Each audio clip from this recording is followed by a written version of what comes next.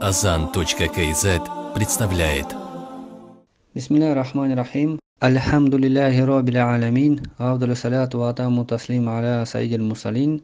Сайдина Мухаммад бни Абдилляхи ва аля алихи ва сахбихи ва салям таслимун кассирун. Ассаляму алейкум рахматуллахи баракату, дорогие братья и сестры, дорогие слушатели. Сегодня мы с вами продолжаем цикл уроков по книге Нуру Лидах имама Шурнбуляли. Урок номер 17. قال المصنف رحمه الله تعالى نفى الله به وبكم وبالعلماء ملين في الدارين آمين فصل في баяне фароида лихтисаль. Раздел Обязательное действие большого омовения. Фарды гусля.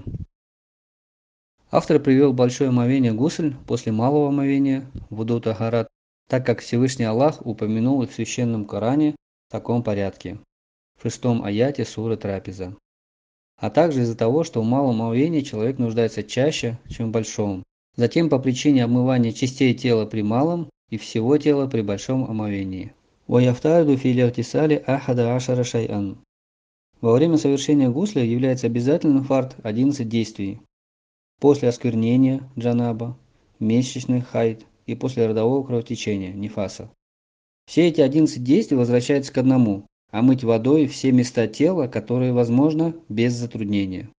Ауаль гослюль фами. Первое – намочить рот, вымыть рот. Сани – аль-анфи и нос. Васалис – аль-бадани. Третье – тело, марратан. Все это нужно мыть один раз. Рот и нос являются фардами на основании штихада.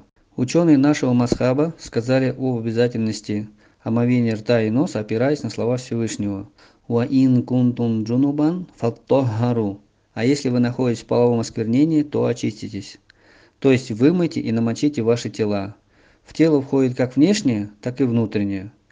Что мыть сложно и невозможно, то мыть не нужно, а рот и нос можно вымыть без труда. Тем более их омывают как во время поклонения, так и вне его.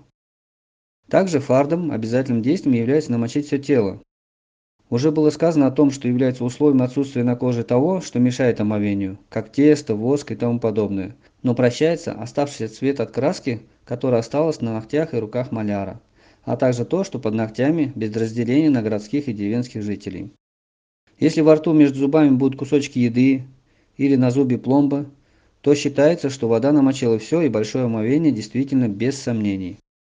Касаемо омовения рта и носа, то нужно их омыть, эти органы, оба, как можно глубже. То есть набрать в рот как можно глубже воды прополоскать рот глубоко и также нос глубоко внутрь вдохнуть воду. Робиа дахали кульфатин ля усра и фасхига. Четвертое, внутри кожи, под кожей, закрывающая головку мужского полового органа, если нет затруднений в его раскрытии. Это касается тех, кому не было сделано обрезание. Хомис васурратин. Пятое, внутри пупка, если он имеет углубление, так как омовение этого углубления составляет трудности. Садис васукубин гойра мундоммин. Шестое. Внутри раны, которая не закрылась, не срослась. Все это омывается по той причине, что намочить эти места нетрудно, не составляет труда. Саби. Дахали матфури мин шари роджули. Мутлякон. Ля дахаля матфури шари марати. Инсароль мау фиусулихи. Седьмое. Внутри заплетенных волос мужчины во всех случаях но не внутри заплетенных волос женщины, если вода попадает на корни волос. Мужчина должен распустить волосы и вымыть их полностью, так как волосы не являются украшением для мужчины. Женщина же не обязана этого делать, ей достаточно намочить корни волос, без распускания кос и мытья волос полностью. Согласно хадису от Умму Салема, да будет доволен ею Аллах, она спросила посланника, «О посланник Аллаха, я женщина с длинными волосами, и я заплетаю их косу. Нужно ли мне расплетать волосы при совершении гусля от осквернения? Посланник Аллаха, да благословит Аллах и приветствует, сказал, «Нет, тебе достаточно полить голову тремя пригоршнями воды, чтобы намочились корни волос. Затем полить остальное тело водой, и ты очистишься». Если же волосы покрыты чем-либо или очень густые и корни волос не намокают, то она обязана расплетать волосы и нет необходимости мочить также локоны и косы. Самин башаратуль лихьяти валяу касифатан. Восьмое. кожи под бородой, даже если будет густой. Обязательно нужно намочить и кожу под бородой, и саму бороду полностью, и неважно густая она или жидкая, то есть редкая.